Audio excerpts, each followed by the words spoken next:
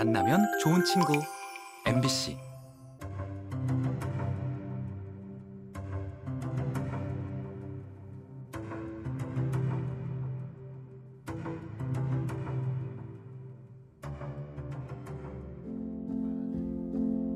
조금이라도 아끼려고 쓴 가계부가 일기가 되고 역사가 되었습니다. 올해 100세의 김갑생 삼촌. 100세 나이에도 여전히 책상과 벗하며 삶을 곱게 단장하고 계시는 김갑생 삼촌의 이야기. 지금부터 시작합니다.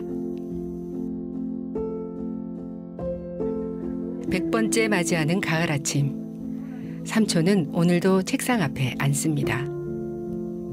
주판이며 일기장, 스탠드가 정갈하게 놓여 있는 책상.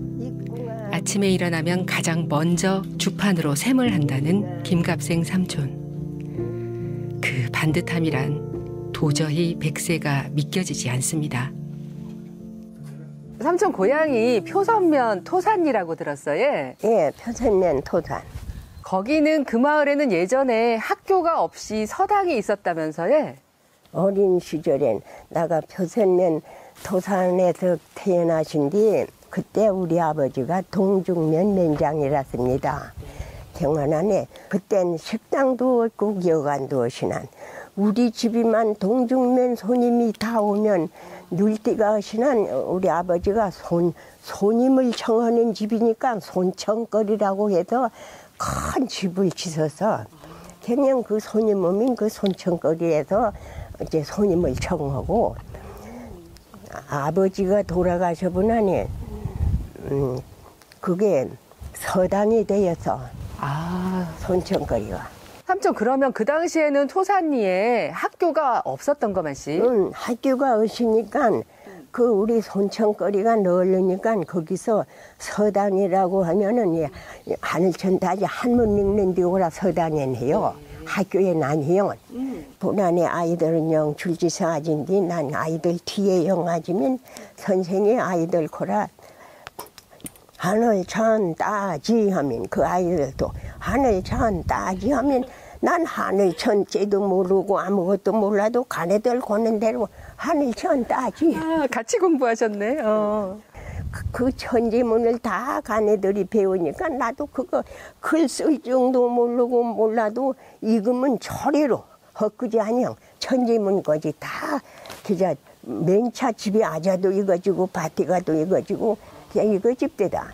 천자문 낭독 때문에 큰 대회에 나가서 큰 상도 받으셨다고요? 나가 72설에 72설에 난군 체육관에서 큰 행사가 있으니까 우리 동네 사람이 와네. 아이고 봉원이 어머니도 없어. 고치강 남은 체육관에 강 행사 보게 하나네. 나가 고치 갔어 고치 가나네 아 간본안에 남은 놈만 체육관인가 행간 보니까 저 난군 체육관이니까 사람이 꽉 차고 하나네 이제 그대 아자네 영 밤시나네 이제 옥기 이 옥기 이제 김윤주인 한 선생이 조케님 조케님이랑 오늘 천재문 낭독했어. 난 아유 나 들인 때 해난 거 음, 며칠 전이라도 걸음이라도 주지 깜짝이 이거 집니까 게 하나 김갑생이 불건 나 없어야 이건 가분한 아유 난 가슴이 당당해. 아유 어떤 어떤 형 좋고 하다네. 신능 남은 업 신능일이 김갑생 천재문 낭독 그난 걔는 이제 할수 없이 나가죠. 나갈 때까지도 가슴이 탕탕탕탕탕한지 그디간에 영영단 앞이 산에 마이크를 딱 잡으나는 아무 생각도 없이 기습이 왈딱해요. 기십이 납디가 오히려. 금착하질 아니요. 오. 금착하다네. 마이크를 잡으나는 그냥 기십은 아무 걱정도 없이 기십이 좋아네. 이젠 저 천재문 낭독하겠습니다. 얘네 이거 가는지 낭군 쌀은 다 아진디라 보나네 좁게 오르면 알아듣지 못할 거나 막 크게 하늘 천다지 가무현 누르라 경희다 그 체육관에서 못 알아들을 거 아니고 한 다섯 여섯 썰절에 서당에서 손천거리에서 이거란 걸 나가 72살에 가네 이거서. 우리 한 30자만 한번 해볼까 씨. 나 이거 지는데 거. 어, 이거 지는 데까지 한번 들어보게. 예. 응.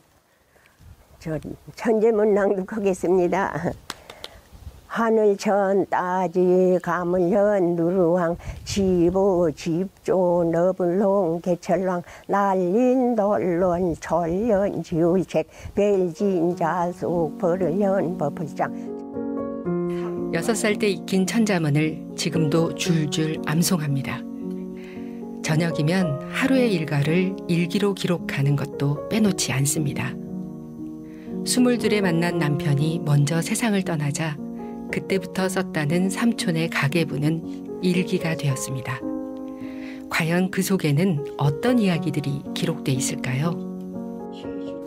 남편 돌아가 보면 아이들은 학교에 가진 다 가반 뚫으면 국민학교, 중학교, 고등학교 한데 돈은 없고 남편 산때 돈 하도 써보난 그 쉰세세 한판에 쉰일곱 거지 돈을 써보난 지난해 농협에 간돈 백만 원 빚어단 쓰단 보난 돈이 없이난 그때부터 아 돈이 없이난 가계부를 쓴다 해서 어느 날 어느 어느, 어느 날은 어, 느 아이가 얼마니 어느 거 운동화 사주고 음식을 뭐 공책 사주고 한 거다 써보난 말자는 틀림없이 딱 맞이난 가계부 써가난 일기가 거치 나옵대다.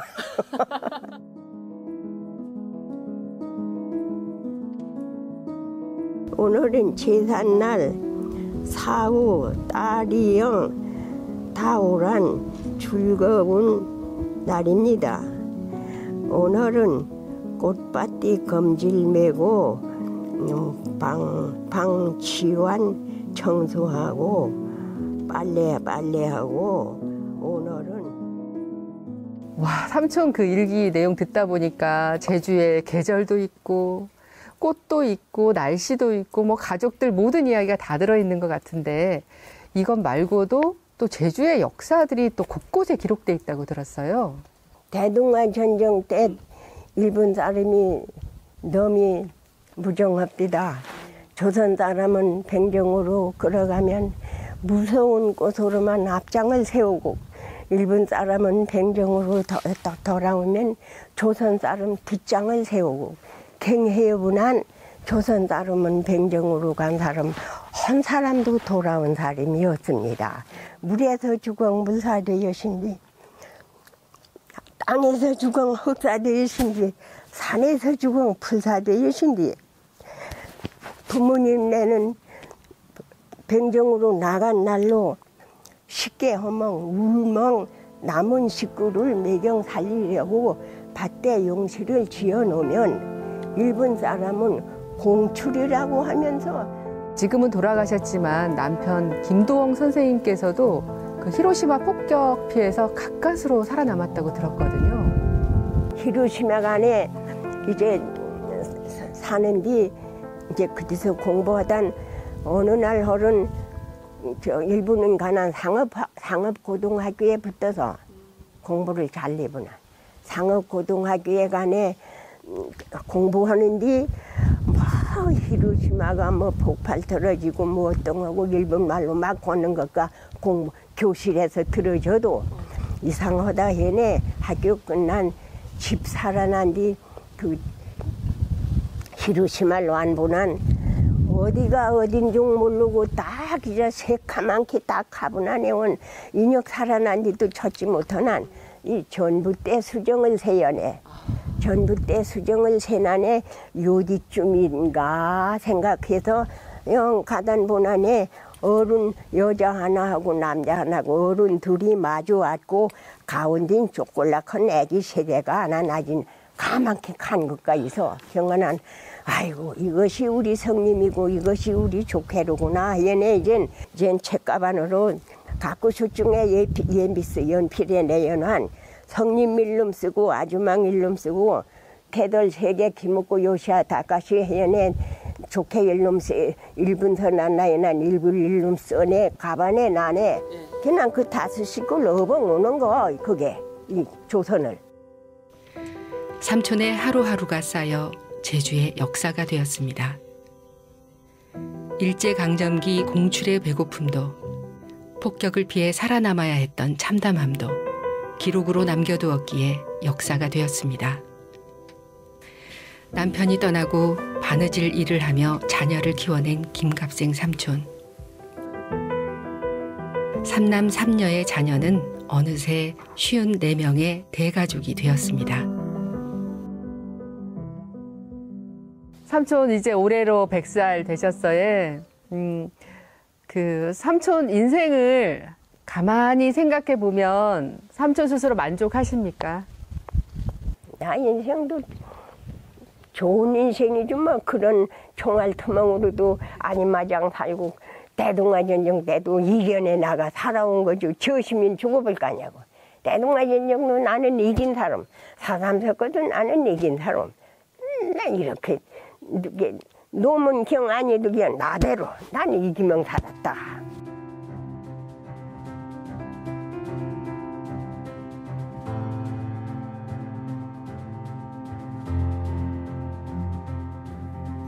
살아남는 것이 이기는 것입니다. 험난했던 일제 강점기와 사삼에도 살아남았기에 자신의 삶은 지지 않았다고 말하는 김갑생 삼촌. 내년 가을에도 또 그 이듬해에도 오래오래 삼촌의 일기를 보고 싶습니다.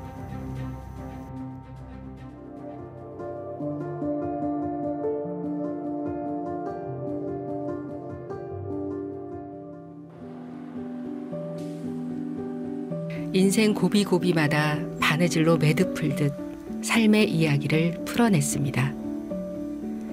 녹록치 않은 삶 속에서도 한복을 짓고 시를 짓고 그림을 그리며 더욱 아름다운 인생을 깊고 있는 신이자 삼촌. 바느질로 인생을 촘촘히 기워나가는 신이자 삼촌의 인생 이야기. 지금부터 시작합니다.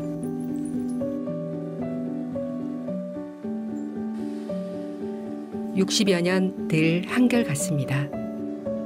옷을 입는 시간은 성직자가 마음을 닦는 시간처럼 고요하고 깊습니다. 평생 옷 짓는 일을 해온 신희자 삼촌. 삼촌은 어떻게 한복 만드는 일을 하게 되었을까요?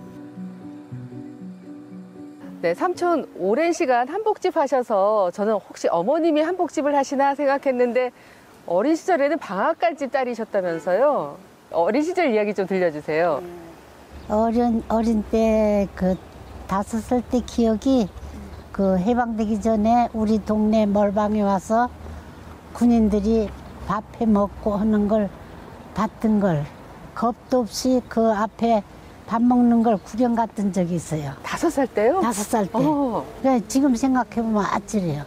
남자 군인들이 밥을 먹는데 내가 가까우니까 거기 걸어가서 이제 그 사람들 이렇게 보고 그냥 그 사람들은 막 나보고 먹으라 그러면서 그런 어, 기억이 있는데 지금 생각해 보면 아찔해요. 그때가 마지막이었던 것 같아 해방될 때. 예. 그 후, 그때가 비양도 앞바다에 그 일본 군함이 아주 큰 군함이 있었는데 그게 그 미국서 나중에 뭐야 미국서 폭발했다는 얘기가 들. 삼촌이 그 현장에 계셨어요? 현장에 있는 게 아니고 그날 우리 사촌 오빠가 폭발 맞아가지고 업어서 대립까지 피난 났었어요. 이런 이런 데 다 파편 튀어가지고 한림 전체가 물바다 됐지. 그러다가 삼촌 그 삼촌의 집안이 또 사삼 때문에 큰 피해를 보셨다고 들었는데 일곱 살때 사삼이 일어나더라고. 예. 사삼이 어, 이젠 이 얘기 들어보면은 제주도 열두 지서 열두 지서 한꺼번에 폭도들이 와서 습격해가지고 어, 지서 지서의 지서장도 어, 그냥 폭격당하고 우리 형부가 그때 지서 주임으로 있을 때 죽창으로 막 어, 찔림을 당해서 돌아가셨는데 그때 우리 언니가 애기 삼남매 데리고 있었는데 그 광경을 보고 병이 나버려. 어. 그 다음에 예, 병이 나니까 집안이 뭐 쑥갓됐지 뭐. 사삼은 잔인했습니다. 산 사람은 살아야 하기에 홀로 되신 어머니가 운영하는 방앗간 일을 도우며 10대를 보내던 신이자 삼촌. 그때 운명처럼 다가온 곳이 있었습니다. 바로 양재학원입니다. 그 제주시에 살던 친구 하나가 양재학원 다닌다고 그래. 그러니까 양재학원이 어떤 데인데 하니까 이런 그 옷들 만들어서 입는 데라고 그러니까 저 어머니한테 이런 데 있다고 하니까 아이고 그러면 거기 가라고. 그래서 어머니가 적극 추천해줘서 거기 그러면 학생들 숫자는 대략 어느 정도 됐나요? 어, 숫자는 한 50명 됐을 거예요. 빽빽했어요. 너무 신기하고 재밌었던 것 같아. 그 기, 그 재단법 기록하고 그 재단법으로 재단해가지고 배우는 게 하여튼 재밌었어.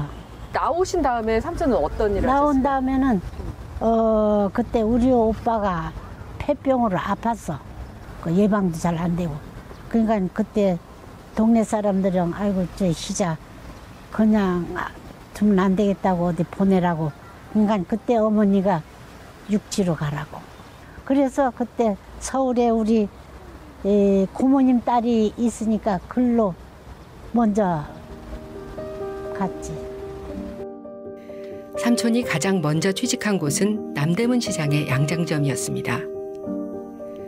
그곳에서 잠시 보조로 일을 하다가 더 나은 일자리를 찾아 대구로 향하게 됩니다.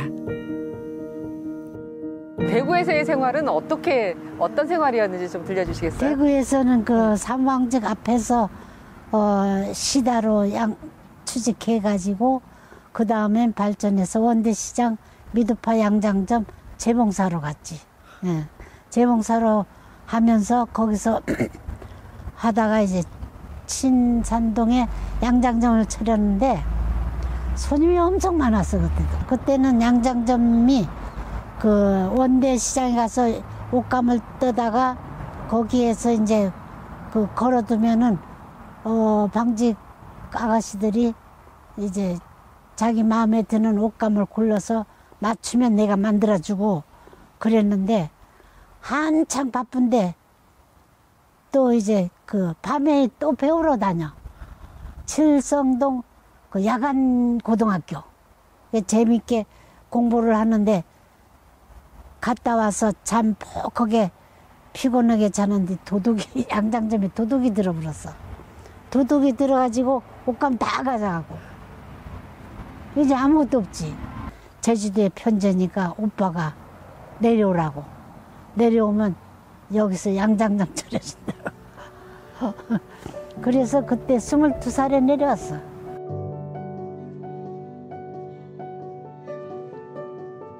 그러면 삼촌 그 당시에 한림에서 1호 양장점 아니까 삼촌이 1호 양장점인데 그때 왜 그렇게 인기가 있었을까 거기가? 그러니까 그때 내가 온 다음에 이제 그 대구에 옷감 갔다가 장사하니까 그 옷감이 신기해서 그 옷감들을 많이 팔게 되더라고. 어. 그냥 뭐 쉴 틈 없이 계속 일했지. 그냥 계속 일만 해준 것 같아. 한림 최초의 양장점이라는 이름에 걸맞게 잠잘 시간조차 없을 정도로 바쁘게 살았습니다. 하지만 이것도 잠시 기성복 시대에 접어들면서 쇠락의 길을 걸을 수밖에 없었는데요. 이때 삼촌은 또 하나의 도전에 나섭니다. 양장 일에서 어떻게 한복으로 다시 전환하시게 되셨던 거죠? 이 공자 선생님이라고 여성학원에서 한복을 배워주더라고. 그러니까 거기에서 한 1년 해가지고 한복집 차려버렸지. 어떤 게 더 쉬워 마시? 어, 쉬운 건 없어. 양장도 좀 기술이 요하고 한복도 기술이 요. 한복은 그 한 땀 한 땀이라는 게지. 양장은 한 땀이 틀려도 옷이 돼. 그러나 우리 한복은 한 땀이 틀리면 옷이 틀려버려. 왜 그럴까요? 섬세, 완전 한복에. 아주 섬세. 그러면 그렇게 삼촌이 한복집을 몇 년이나 하신 걸까 그러면? 한복집이 예, 50살 50살 때부터 했구나. 50. 50살 때부터 한 30. 30. 계속 지금 저 자리에서. 30년 넘게. 그 누구보다 배움에 대한 갈망이 컸던 신이자 삼촌. 한복점이 어느 정도 자리를 잡은 이른 살 무렵 또 한 번 도전을 하게 됩니다. 시와 그림을 배우게 된 것입니다. 옛날부터 고통받고 나이 들으니까 옛날 게 생각나고 그러니까 그게 더 큰 병이 될 수도 있어. 그러니까 내가 뭐에 파고 들어가야 돼. 그래서 책도 보고 글도 쓰고 시도 쓰고 그림도 그리고 지금 막 그려지는 모양이다. 왜 그렇게 쏟아붓지 않으면 옛날 생각하면 병이 날 것 같고 화가 나고 시를 쓰는 것도 어려운데 이제 시집까지 내시였어요. 네. 어, 시집 제목이 뭐였는지 바느질 매듭 풀듯이 예. 어떤 바느질- 담겨 있는 겁니까? 바느질 매듭 푼다는 거는 옛날에 어머니가 그 눈이 어두니까 실을 막 길게 꿰요. 그러면 길게 꿰다 막 고격지잖아. 그러면 그걸 풀라고 그래. 그 어머니 이거 여기는 안 풀려서 자르면 안 될까? 풀라고. 그거 꼭 풀어야 세상 살아가는데 풀면서 산다고.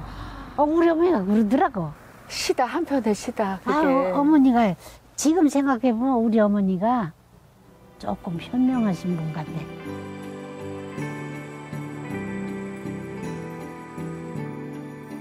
그림 그리고 글 쓰시는 그 시간은 삼촌에게는 어떤 시간인가요? 어, 세월을 엮고 보내는 거. 왜 그러냐면 허송세월 하고 싶지 않아서 허송세월 하고 싶지 않아서 이 세상은 아까운 세상이잖아.